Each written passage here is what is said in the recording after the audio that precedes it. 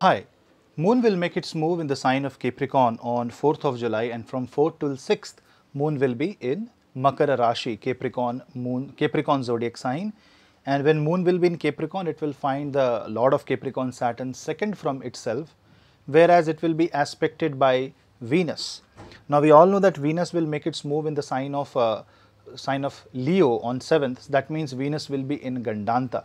So moon will directly watch a Venus which will already be at 28 degree plus in the Cancer zodiac sign and uh, moon will also encounter sun and mercury in the 6th.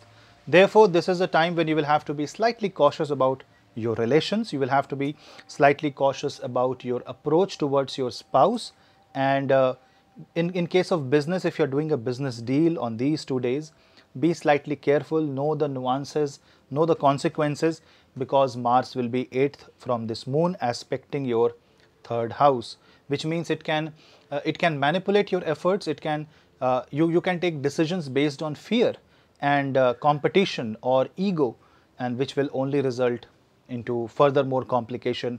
And therefore if you are more humble if you are taking things lightly it will be really good for you uh, the most affected zodiac sign will be Taurus, Cancer, Virgo and Capricorn.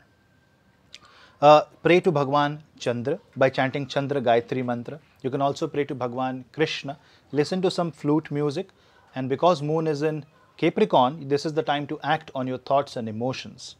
It is a good time to come out of any any, any kind of fear because it will, in, it will make you face your fear and if you work on it, if you chant Hanuman Chalisa seven times for these two days, you will see that uh, it will help you, uh, you know, get close to your fear and then win over it. This is the time when you should win over yourself and focus more on how you can bring dharma and uh, karma coming together basically on the same track. So, but for career, this is a good time. You might experience uh, a kind of a wave of emotion where you will be asked to follow your talent, follow your heart. Do that, but don't take any drastic step. Check the feasibility and then act on your emotions. Be careful about the words that you speak because of retrograde Saturn being second from the moon. Focus on your diet and uh, spend less. You were watching, Hi, you are watching Sadgamayah. This is a channel for short astrology videos for astrology updates on the go. We'll meet you in the next video. This was Moon Transit in Capricorn. Please subscribe to the channel, hit the bell icon and stay connected. This is your host Punneit. Namaste.